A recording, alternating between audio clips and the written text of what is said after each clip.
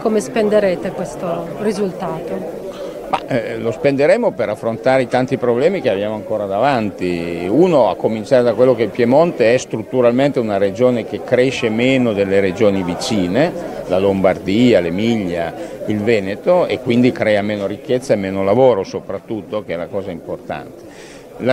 Questo cosa vuol dire? Vuol dire portarci a temi che conosciamo, le infrastrutture, quindi eh, la realizzazione della TAV fra Torino e Lyon, completare il terzo valico, andare avanti sul terzo valico, completare l'Asticuno su cui come per la TAV non ci sono più notizie se non dilatorie, fortemente dilatorie, e poi vuol dire continuare sulla strada che abbiamo segnato, mm, penso ai risultati sul turismo dove eh, siamo indicati come la, la, prima delle dieci regioni da visitare nel mondo dalla Lonely Planet che è la più importante, rivista, la più importante guida turistica del mondo, eh, penso ai risultati acquisiti nella sanità dove eh, siamo passati da una situazione di commissariamento a una situazione ad essere la prima regione per il rispetto dei livelli essenziali di assistenza forniti e a, ad aver messo, in, messo in campo sen, al, con risorse nostre 1500 assunzioni tra quest'anno e il prossimo anno e investimenti che sfiorano il miliardo di euro a cominciare dal Parco della Salute di Torino e di Novara, nell'ospedale nel VCO e nell'AS Torino 5. Quindi insomma, continuare su una strada che è quella di eh, investire, migliorare la qualità dei servizi, rendere migliore l'ambiente della nostra regione. Inaccettabile direi perché eh, che un governo non, che sa che scade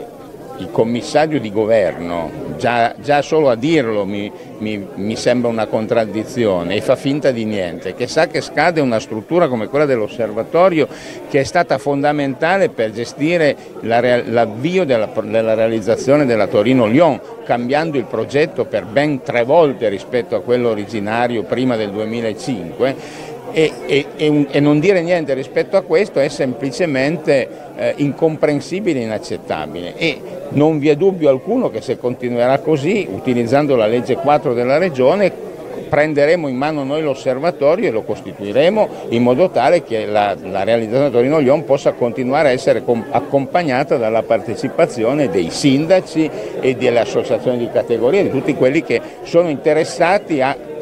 a partecipare alla costruzione di una nuova fondamentale infrastruttura l'analisi costi-benefici e tutto il resto sono modi per allungare il brodo, arrivare a dopo le elezioni europee e, e, e poi chi vivrà vedrà e il Piemonte non può rassegnarsi ed essere condannato al vivere alla giornata sulla base del chi vivrà vedrà. Ripeto, io chiedo al governo che si assuma la responsabilità di decidere,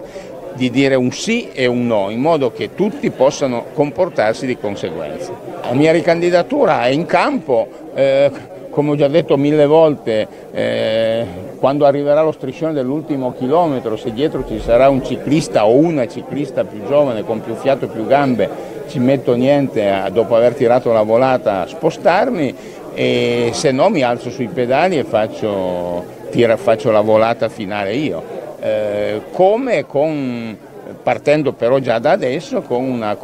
cercando di costruire una coalizione che abbia al centro un tema molto semplice, sì al Piemonte del sì, cioè un sì al Piemonte che dice sì alle grandi opere ma che dice sì ai diritti, un sì al Piemonte che dice sì alla crescita ma che dice anche sì all'ambiente e così via.